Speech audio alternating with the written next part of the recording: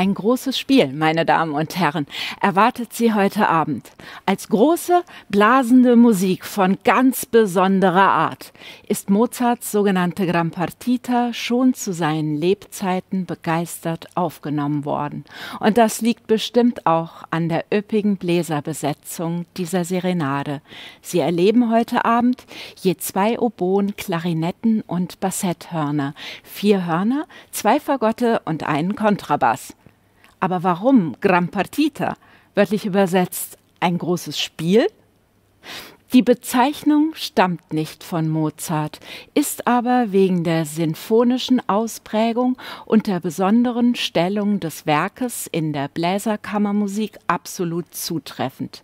Das vielfarbige Ensemble wird in ständigem Wechsel zwischen Solo, Begleitung und Tutti vorgeführt. Auf den einleitenden Sonatensatz mit vorangestelltem Largo folgen sechs weitere Sätze. Im Zentrum steht das ausdrucksstarke Adagio, einer der schönsten langsamen musikalischen Momente aus Mozarts Feder. Das Adagio wird von zwei Menuetten mit je zwei Trios flankiert. Diese hat Mozart in gegensätzlichem Charakter angelegt. Bemerkenswert ist vor allem die musikalische Vielfalt der Trios. Menuette sind da zu hören. Ein wunderbares Fagott-Solo mit charakteristischen Triolenbewegungen. Und am Schluss ein echter Ländler. Nach all der Pracht in den ersten sechs Sätzen bleibt sicherlich das Rondo im Ohr, dessen Thema an die Melodie Vivat Bacchus, Bacchus lebe aus der Entführung aus dem Serai erinnert.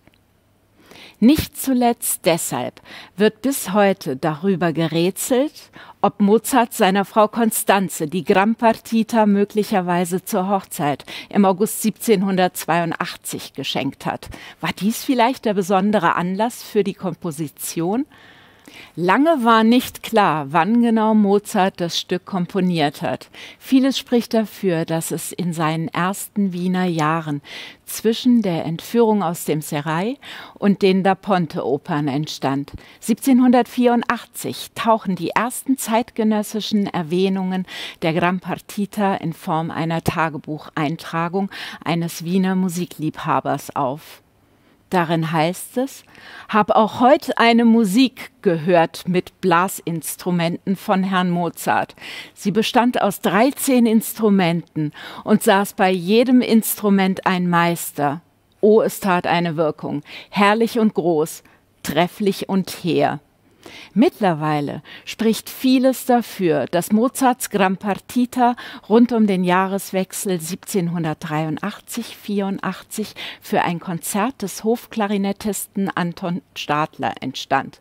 So oder so, die Gran Partita gilt als wahres Wunderwerk an Einfällen, das nicht umsonst vorbildhaft für zahlreiche Komponisten des 19. Jahrhunderts wurde.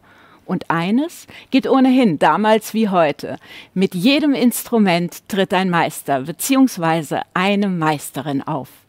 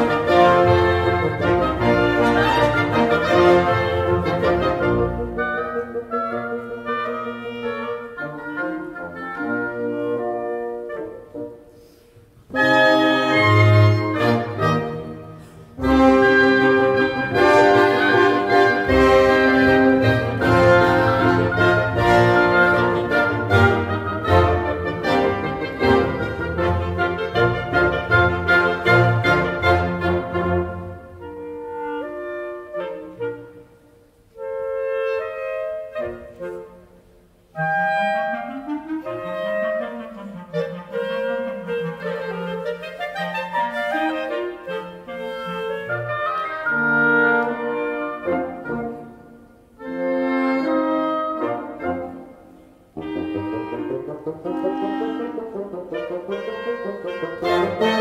you.